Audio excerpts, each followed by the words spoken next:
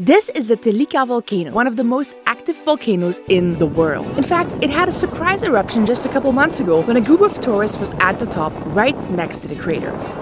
And tonight, we're trading in our warm, comfy bed to sleep next to the crater on top of an unstable ball of boiling lava. I don't like that. what we're really hoping for is that we'll get to see lava bubble up from the center of the earth here. That has been on my bucket list for years. And maybe to not become a human barbecue in the process. Nicaragua has a whopping 19 active volcanoes. The volcano-related activities here can get wild like volcano boarding, where you go down a steep slope covered in volcanic rock on a thin wooden board at speeds of up to 50 miles per hour. The Cerro Negro volcano is the only place in the world where tour companies are crazy enough to let you do this with zero experience.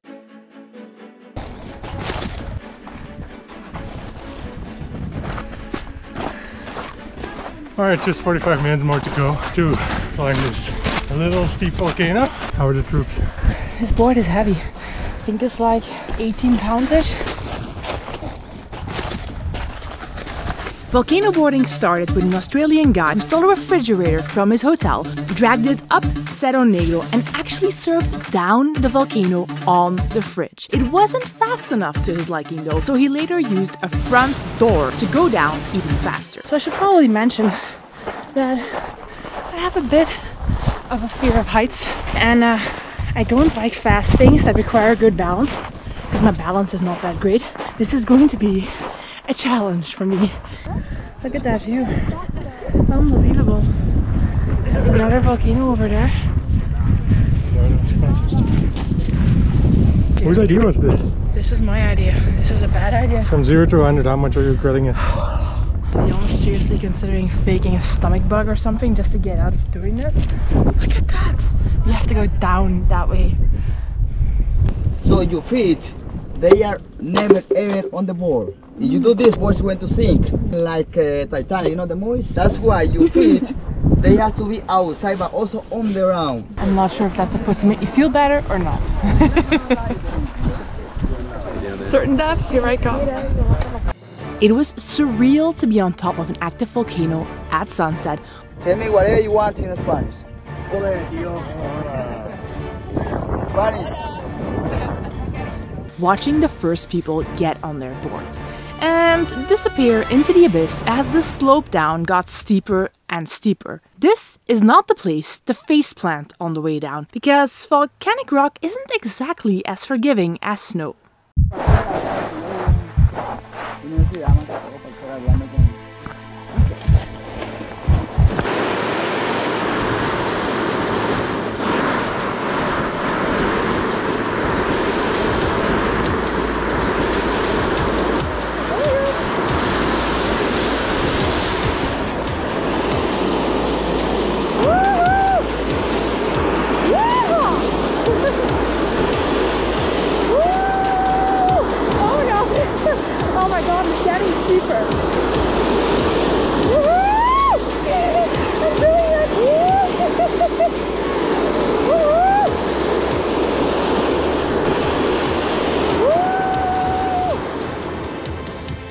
And this is what it looks like when one of the guides comes down the slope. wow, that's ballsy. I don't know why I was like so it? scared. Well, I do know why I was so scared. I mean, look at it. I wish I could go again. I love this. It was so much fun. It was it was really thrilling. Whoa, I was steep. It Not was steep. fast. The, It was the steep. last part was really fast. Yeah, very fast. So glad I did it. It's a good thing I didn't worry about it for six days before doing this.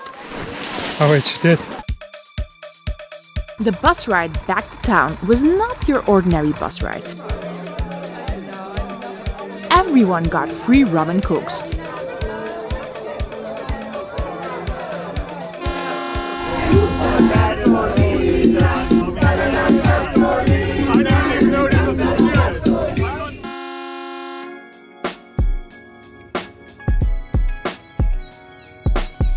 Good morning. We're having a little brekkie and some coffee to get us going in the morning. Life could be worse. I have traditional Nicaragua breakfast, which is rice and beans, some fried eggs, some cheese, and some fried plantain chips. It's actually really, really good. Love this breakfast. Pancakes. Today, new day, new volcano activity. That pretty much sums up life in Nicaragua. Today. Today, We are sleeping on an active volcano. The thought of sleeping on top of a very active ball of lava is kind of nerve wracking, especially after we heard a few more stories yesterday about unexpected explosions on the Telica volcano, the exact one we'll be sleeping on tonight. But we came here to see lava, and we're not leaving Nicaragua until we fulfill that mission. Today we're going on a smaller tour in another company that's going to be just us. The guide's gonna be here in about 30 minutes, and I haven't finished packing yet. We're definitely gonna be needing these babies.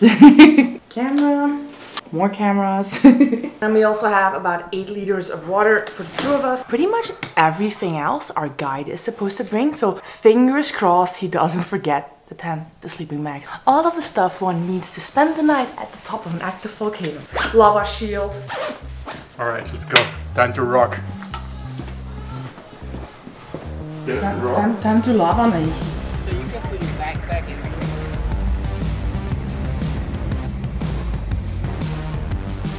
We left the city and drove out into the countryside of Nicaragua. Our driver was going to drop us off about one third of the way up the volcano. Past this point, the only way to get up to the crater is to hike up the slopes of the volcano. Look at the view. Now that we have a sleeping bag and a tent, we can need to carry up this volcano. It really starts to sink in that we're actually doing this. Going to sleep on top of an active volcano. All right, we're about. Are we halfway up? Almost, almost there, sir. Almost, halfway. there. Almost And halfway uh, up. this is our guide. Hi. Well, my name is Max. I'm from Leon City, here in Nicaragua. So today we're hiking Telica volcano, one of the seven active volcanoes that we got here in our volcano range. Officially in Nicaragua, we got 19 volcanoes only considering active. And well, we're here just hanging out today. Yeah, it's beautiful. Wow, the views here. stunning.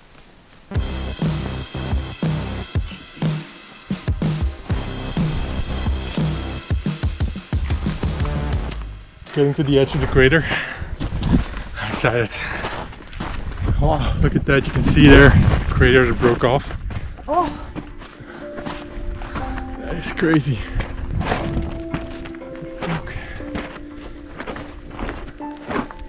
Something else. Oh my god, guys. We made it. Look at this. There's all the smoke coming out of the crater. That's deep. That that goes down very deep.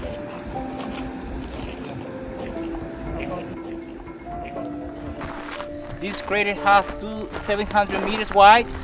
700 meters? 700 meters wide, exactly, and two 200 meters deep. 200. So basically, what we hear down there, that's the sound of the magma. I mean, we cannot see it, but we can hear it.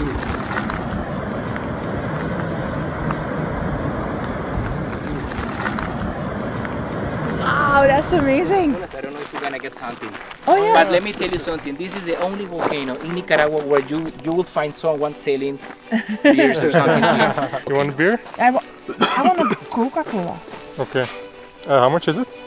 ¿Cuánto cuesta? No vaya a dejar ya. 89. 80 and 90. Okay, yeah. Buena oficina aquí.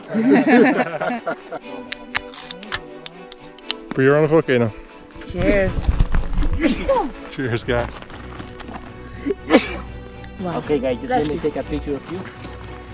Best beer ever.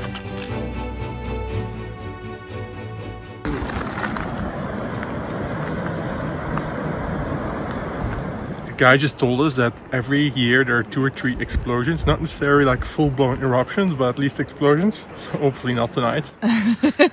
or maybe just a really small one. And the Coca-Cola guy over there says that some days you do still get to see the lava. If you're lucky, you need to be lucky. We might still see it when we come back in the morning. But even without it, I mean, I think this is so cool because you like, this looks and feels so much like an active volcano. So now we're gonna watch the sunset on the other side of the crater. Since we can't exactly walk across the crater, we're walking down a little bit to get around it. The last thing that I expected to see up here is cows. We're still right next to the crater. It's right there. So now if there is an explosion, you have like a cow barbecue, naturally. Yeah. hey, what about us? Us too. I don't like that. I really love this view so much. Lava. Oh, you laugh at this view. I didn't even catch that. I made her erupt with laughter. you know what you get when you cross a volcano with a saxophone? A molten saxophone. hey, don't do this when I'm walking uphill. You're killing me. That's the only reason I'm slow. There are no gonna leave our sleeping sleeping bags. bags and tent here and then hope the cows don't eat them because they're curious and hungry. But we're gonna watch the sunset over there. Yeah, right. If I'm being honest, when we didn't see the lava in the crater, I was really disappointed. I've always thought of lava as this raw display of nature's power that I really wanted to see with my own eyes, and so far, nothing. But it is this precise moment where I realized that the travel gods were in fact giving us something else instead. And maybe that was something that we needed more. Wow, look at that view. I mentioned I love this. To simply spend time away from laptops, phones, the internet. Up here, next to the smoking crater of the Telica volcano, we were just people and cows talking, connecting, enjoying nature, and mentally preparing for a night's sleep on top of this active volcano.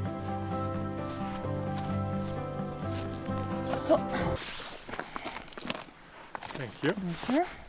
Now that the sun has set and it's starting to get dark, it's kind of dawning on me that we're actually going to be sleeping underneath this crater here, like right next to it. Which doesn't make a lot of sense from a survival standpoint, because it has been known to be unpredictable. but it's you have done it before. I gotta do it again. This is our home for the night. It's time to move in, people.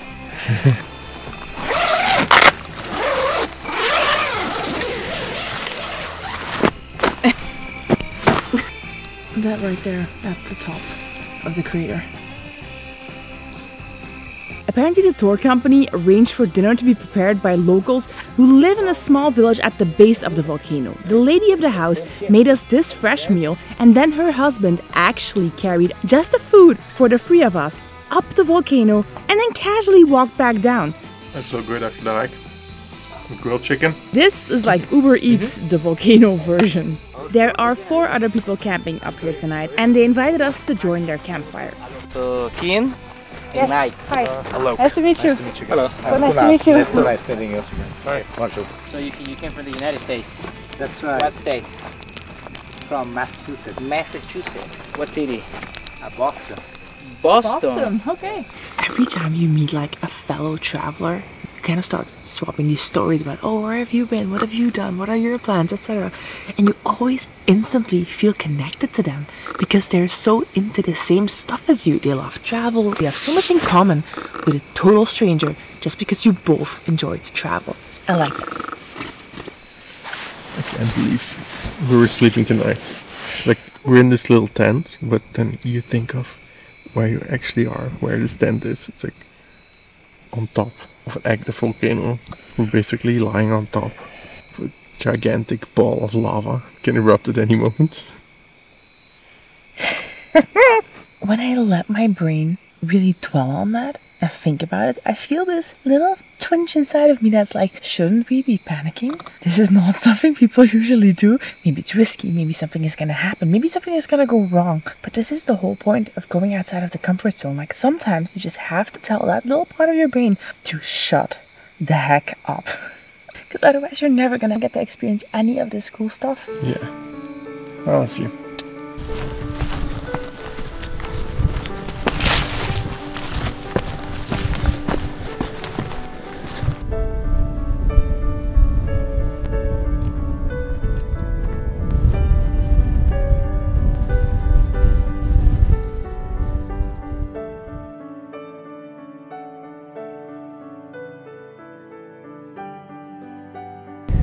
Has to be one of the best sunrises I've ever done in my entire life. that volcano behind us. It's amazing. And you can see a bunch of other volcanoes off in the distance as well. That one smoking over there, way in the back, is called Momotombo. From what I understand, it's erupting quite continuously. Only thing I'm missing right now is lava. But, but, I know of a place where we can normally pretty much be guaranteed to see the lava. Thank Kim, do you know what volcanoes eat for dessert? No. Baklava. Oh my goodness. So I know this is going to sound crazy, but to find the lava, we're actually going to have to get back to our car and drive it up an active volcano.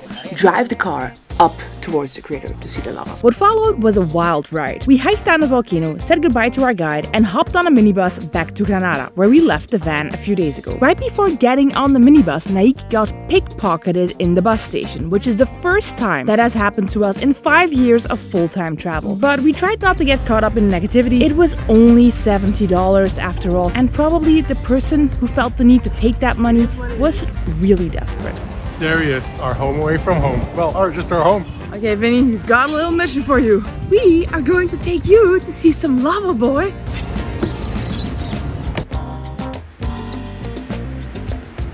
Alright, we're now in the middle of Nicaragua, about 20 kilometers south from the capital Managua, and we're here to do something really, really unique.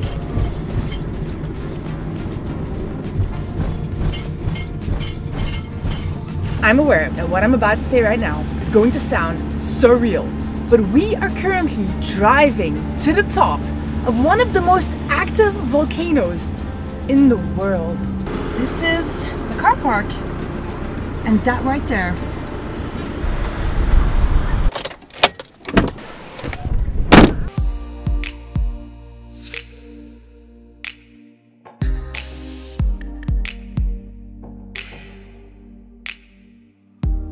Okay, so we're not seeing much yet, because right now there's a lot of smoke. It is said that if we wait here until it gets dark, we should be able to see actual glowing lava. So Sun setting the mountain there.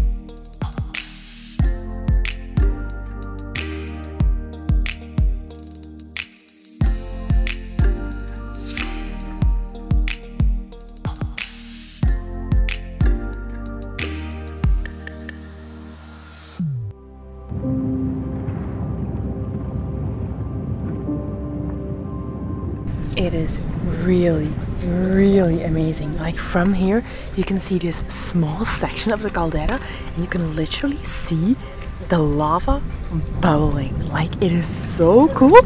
Sometimes there's a lot of smoke and we don't really see anything. And then there are these moments where you're like, oh my god, oh my god.